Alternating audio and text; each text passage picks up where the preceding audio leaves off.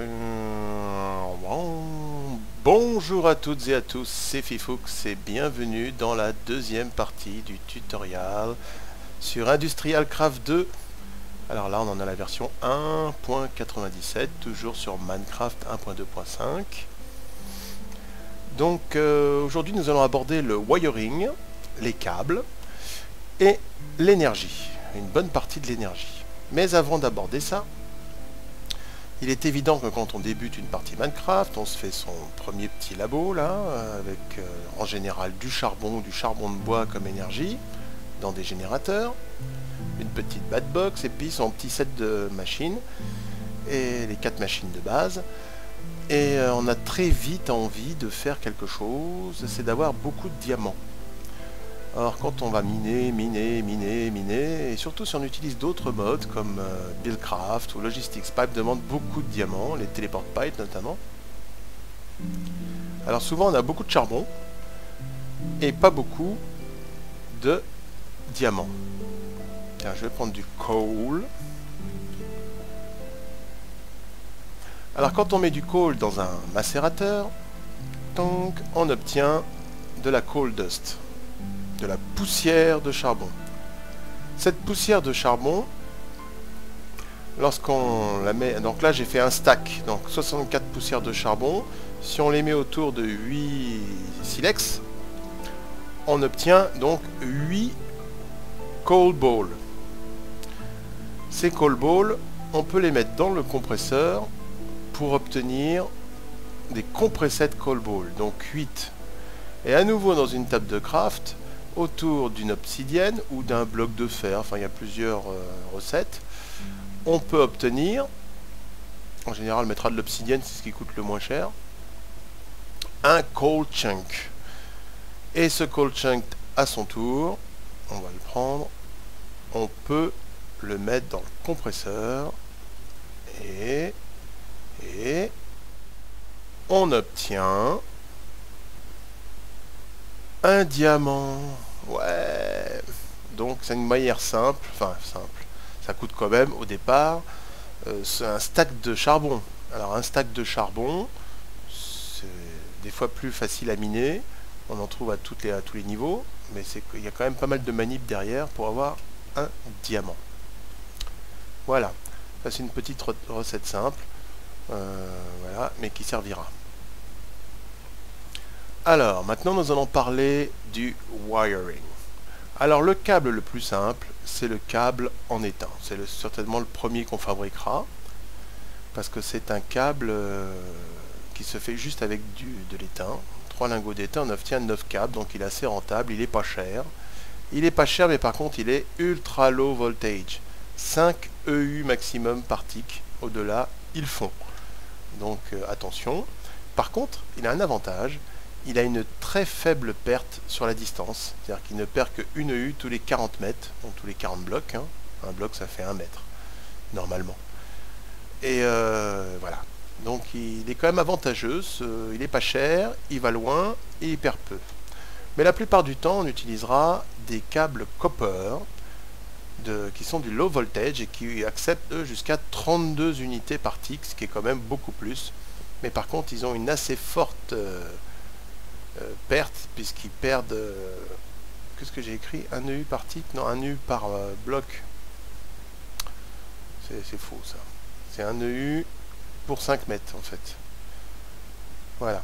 Quand ils, alors, quand ils sont pas isolés, ils perdent un EU par mètre. Et quand ils sont isolés, alors ça se fait bien sûr avec du copper. Et quand ils sont isolés, ils ne perdent un EU tous les 5 mètres. Donc c'est pour ça que euh, la fois dernière, j'insistais pour ne pas faire un câble de plus de 5, parce qu'après on perd de l'énergie, et quand on en génère peu, c'est pas la peine d'en perdre. Voilà. Pour aller au-delà, pour les générateurs qui vont fournir plus d'énergie, on n'en verra pas aujourd'hui, mais on en verra la prochaine fois. C'est-à-dire ce qu'on appelle le tiers 2, c'est l'énergie médium. Euh, c'est jusqu'à 128 EU par tick. On peut faire des câbles en or, mais ces câbles en or, ils ont une très forte perte. Ils perdent un EU tous les 2 mètres. Donc c'est quand même important. Donc c'est des câbles d'or. Hein. Mais heureusement, on peut les isoler avec du, du rubber, évidemment. Ils ne perdent plus que 2,22, enfin c'est guère mieux. Et on peut les isoler doublement. Et là, ils ne perdent plus que 1 EU tous les 2,5 mètres, 2,2. Ouais, bon, ça perd beaucoup, c'est l'inconvénient. L'avantage, c'est qu'ils acceptent du medium voltage. Voilà.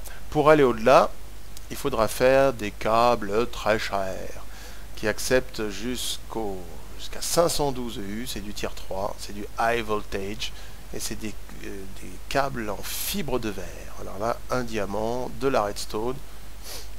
Euh, alors on peut économiser un peu en mettant de, l'argent, si vous avez Red Power d'installer, en mettant des lingots d'argent, de, silver, on obtient 6 câbles. Bon, si vous avez trop d'argent, voilà. Qui a trop d'argent? Voilà. Et puis au-delà, euh, pour les longues distances, c'est l'ultra haut voltage. On s'en sert rarement. Alors il y a le câble de base, lui on s'en sert jamais comme ça. Euh, on s'en sert quand il est doublement isolé. Alors lui il se fait avec du, du fer raffiné, donc c'est un câble cher mais en plus on, s'en sert en général doublement raffilé, donc on, euh, isolé. Donc euh, on l'isole une première fois avec du rubber, une deuxième fois avec deux rubbers, une troisième fois avec trois rubbers. Ou alors on met du rubber sur un câble déjà isolé, et puis sur le câble doublement isolé on en remet. Alors le jeu affiche 4 fois insulated, mais en fait c'est faux, c'est 3 fois. Euh, c'est une erreur qui sera corrigée dans les prochaines versions. Donc c'est du câble trois fois isolé. évidemment, il est très gros. Hein. Ça, c'est le deux fois isolé. Et ça, c'est le une fois isolé. Ça fait un très très gros câble. C'est pour aller très loin, en très haut voltage, à plus de 2000 EU, enfin non, jusqu'à 2048 EU par tic.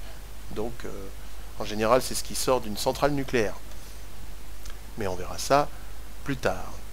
Alors, en cours de jeu, parfois, on est amené à avoir des, des câbles qui passent les uns à côté des autres. Ah, mais ils se touchent. Alors comment peut-on faire pour séparer une ligne d'une autre? Eh bien on n'a qu'à les colorer. Et ça, ça marche pour tous les câbles isolés, puisqu'on peut colorer le plastique en fait.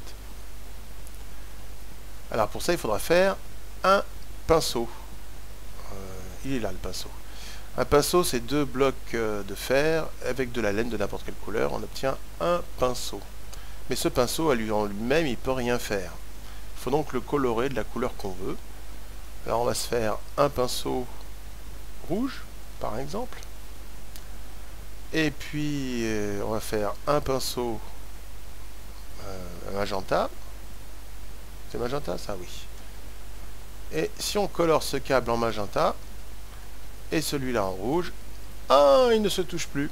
Et ça permet de faire passer des lignes, les unes à côté des autres, sans qu'elles se touchent. Voilà. C'est pas mal ça on peut colorer aussi les câbles, euh, les câbles donc isolés. Voilà. Joli comme tout, hein. on peut même faire de la déco avec. Euh, voilà. Donc on va passer à l'énergie. Alors, la dernière fois on s'est arrêté au bas de pack qu'on porte sur son dos, hein, qui est capable de stocker donc 60 000 EU, donc c'est vraiment un truc intéressant. Alors aujourd'hui on va d'abord voir le mining pipe. Alors ça c'est un ingrédient qui va servir dans la construction de deux appareils. Avant de parler de l'énergie, on va parler de deux autres appareils du tiers 1. Euh, donc avec du refined iron, j'ai du mal avec l'anglais, hein. et des tree taps, les petits robinets, on obtient 8 mining pipes. J'en ai déjà mis là.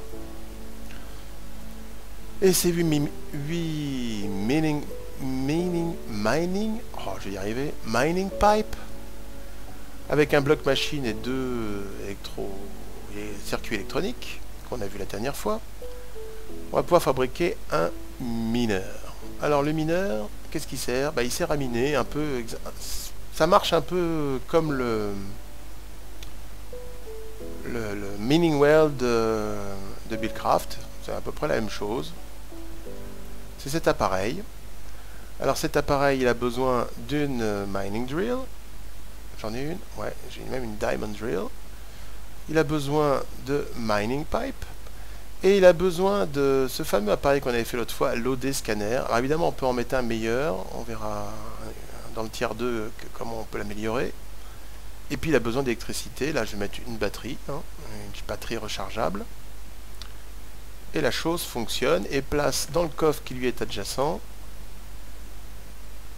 voilà ce qu'elle trouve. C'est-à-dire qu'elle va placer, elle va descendre, placer les mining pipes. Euh, normalement, j'ai déjà plus d'électricité. Alors ça, c'est un peu galère. C'est qu'il faut quand même beaucoup d'électricité.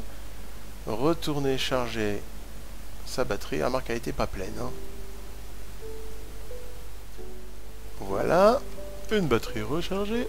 On la remet dedans. Et il va continuer. Voilà à creuser et à mettre ce qu'il trouve dans le coffre à côté. Alors en fait, il creuse exactement sous ses pieds.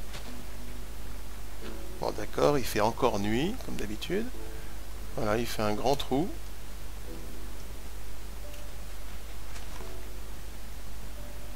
Alors il y a une petite astuce, je... Oh, je voulais pas l'enlever.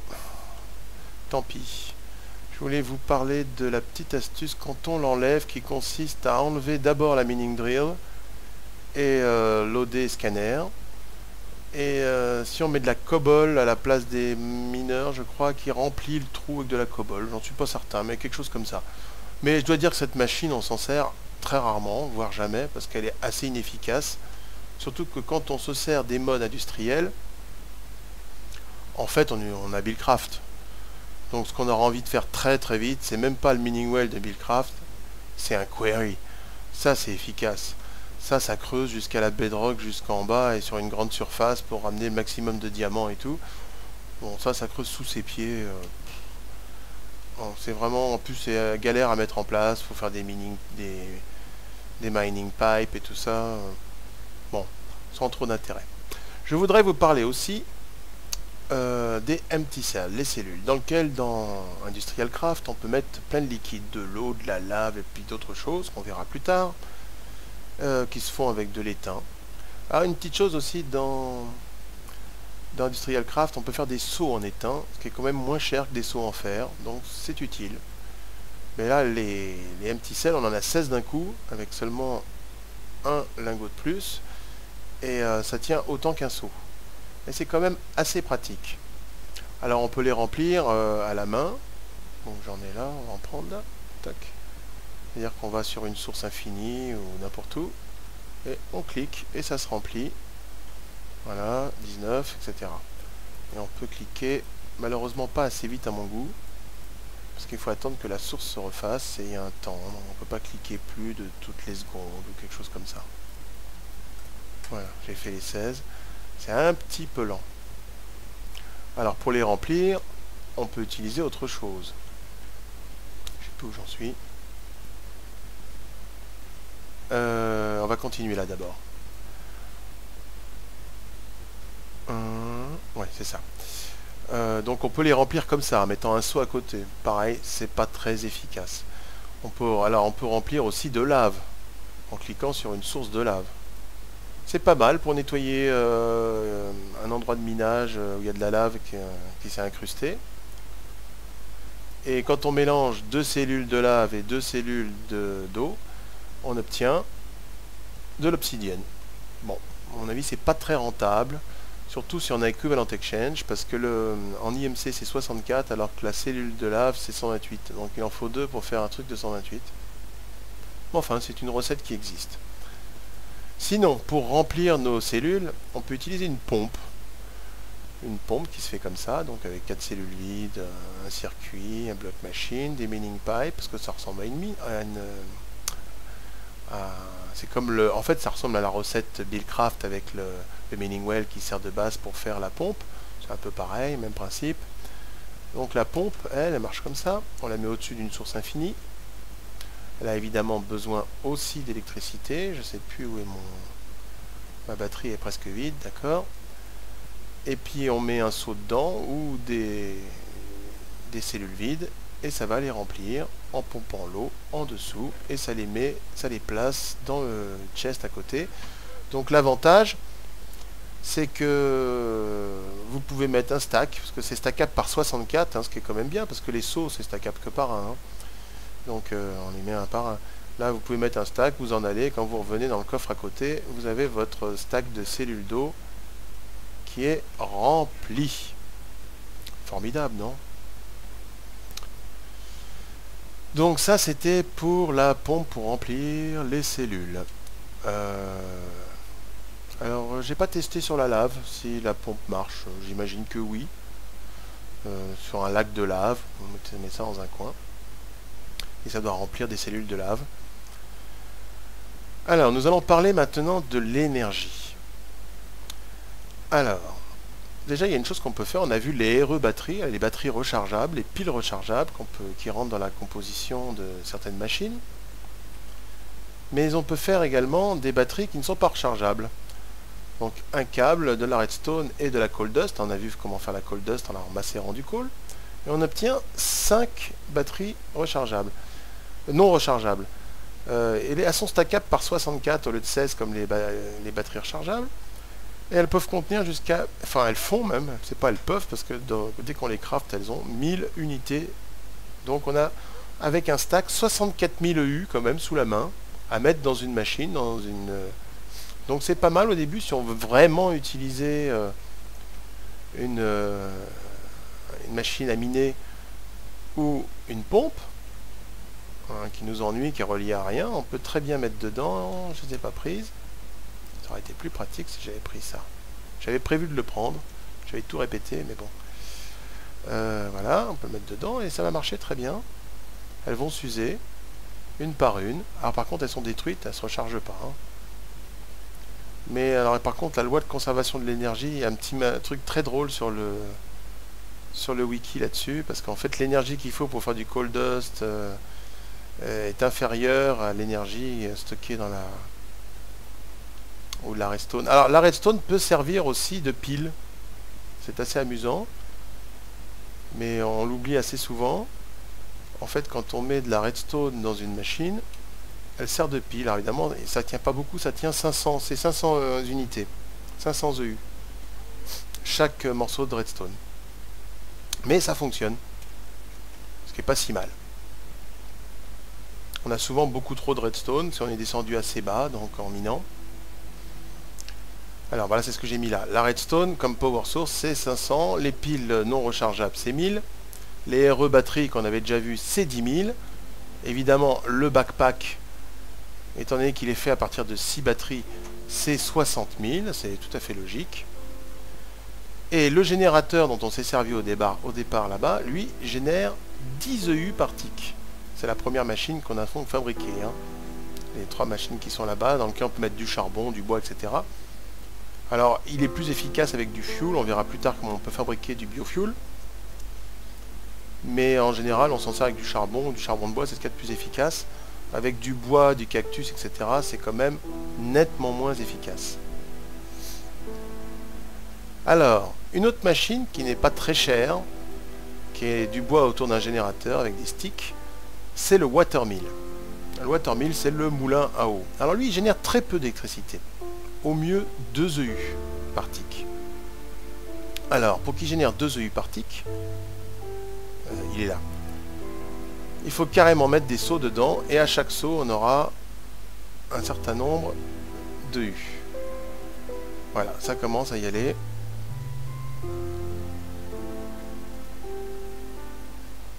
Voilà, et ça va manger les cellules, une par une et remplir à chaque fois le watermill. Et là, si on prend notre EU Reader, Starting Measurement, on a bien 2 EU par tick. Alors c'est très peu, mais finalement on peut avoir une pompe qui recharge des, cellules. Les cellules sont pas extrêmement chères. Et bon, par contre ça défile vite, c'est vrai, mais ça peut être un moyen de recharger. Alors comment on pourrait recharger en permanence? Ben, En fait, on n'est pas obligé de mettre euh, de l'eau dedans on peut l'entourer d'eau et ça génère aussi de l'électricité. Donc là, il n'y a rien dedans, hein, il est vide. Il va juste se servir de l'eau qui est autour comme source d'énergie. Alors j'ai mis des câbles ultra low voltage, hein, comme ça c'est des câbles pas chers, hein, parce que ça a 2 ticks, on a droit à 5 ticks, donc c'est parfait. En plus on n'a aucune perte. Alors cette batterie, bah, vous voyez, je l'ai mis tout à l'heure, et puis ça a déjà chargé. Donc ça charge peu, mais ça charge tout le temps quand même un avantage. Alors par contre, ça vous donne des chiffres complètement aberrants quand vous mesurez. Là, moins 548, c'est pas vrai, c'est pas du moins quelque chose. Hein. Ça, c'est typique des, moulins. Un coup ça donne 0, un coup ça donne moins quelque chose. En fait, ça fait entre 0 et voilà, 0,25. Voilà. Ça va faire 0,25 à peu près. Euh, je l'ai écrit là-bas d'ailleurs pour mon souvenir, je crois. Voilà, 0,25 par quand il est dans l'eau. Environ. Alors on peut améliorer ce système en en mettant plusieurs, ce qu'on appelle une watermill tower, donc une tour de watermill. Là je l'ai fait de deux étages, hein. donc j'ai mis de la redstone dans le fond pour que vous puissiez voir. Donc là il y a 4 fois 0, 8 fois 0,25, donc on obtient grosso modo 2 donc. il était plein il est plein, donc on voit plus combien ça fait, mais ça fait donc 2 EU. Et ça, l'avantage, c'est qu'on n'a pas besoin de... Ça fait exactement la même chose que ça, mais on n'a pas besoin de remettre d'eau dedans. C'est complètement passif. Alors que celui-là, vous êtes obligé de remettre des cellules dedans. Alors on pourrait utiliser un mode pour mettre automatiquement, mais j'ai vu que ça ne marchait plus. Hein, dans un tuto sur Buildcraft, là je vous ai montré que sur Logistic Pipes, on avait essayé de le faire. Ça marchait autrefois, ça marche plus. Peut-être ça marchera la prochaine version pour aller remplir automatiquement les watermills.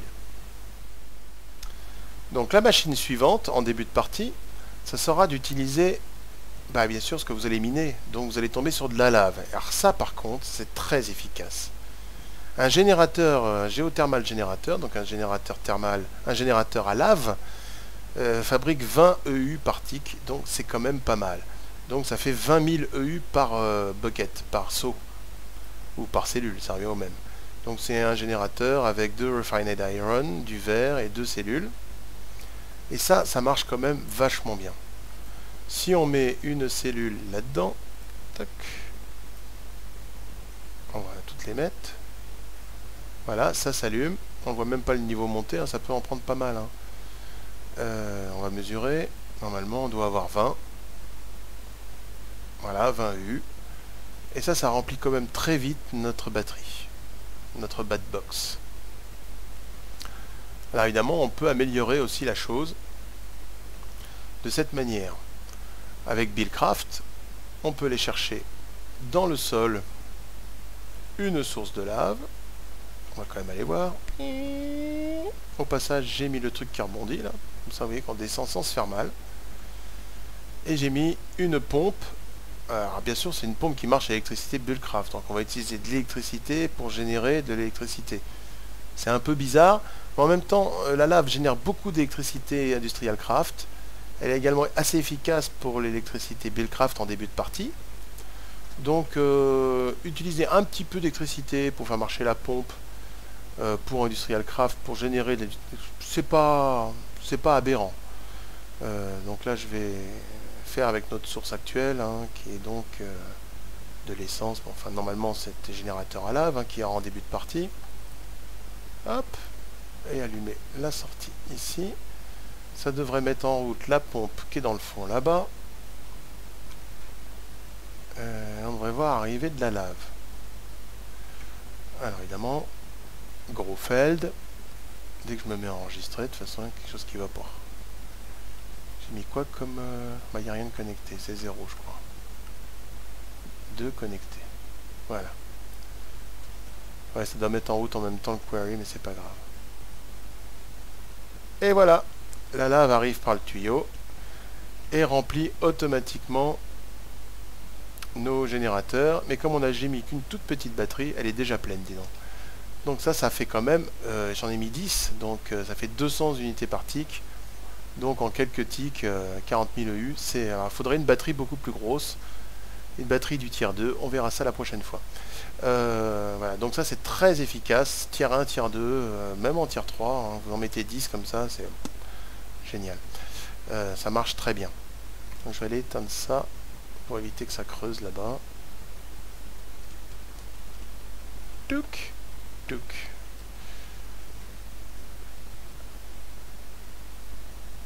Donc les générateurs à lave, c'est une très très bonne source d'énergie. Ensuite, si on ne veut pas, bien sûr la lave ça s'use, et il faudra déplacer sa pompe de lave régulièrement pour avoir de nouveau une source de lave. Là il y a une énergie qui est gratuite, mais qui fournit très peu, c'est l'énergie du soleil. une U par tic et par panneau solaire, et uniquement le jour évidemment. Quand c'est la nuit, ça génère plus rien.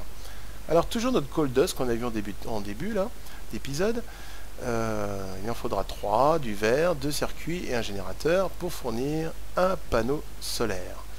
Donc le panneau solaire, lui, le jour, fournit très peu d'électricité, mais il en fournit quand même. Oh, la batterie est peut-être pleine, je ne sais pas. Oui, elle est déjà pleine. C'est bien, je ne peux pas faire de test, ça sera tous rempli. Mais ça fait un tic seulement. Alors on peut en mettre plein et faire ce qu'on appelle une rosace, par exemple. On peut aussi les mettre en ligne, alignés. Euh, et comme on peut utiliser le câble pas cher, et eh ben c'est vachement bien. Donc là, cette batterie aussi est pleine. Donc là, on en a 13. Donc là, ça fait du coup 13 unités par tic. Ce qui est quand même assez avantageux.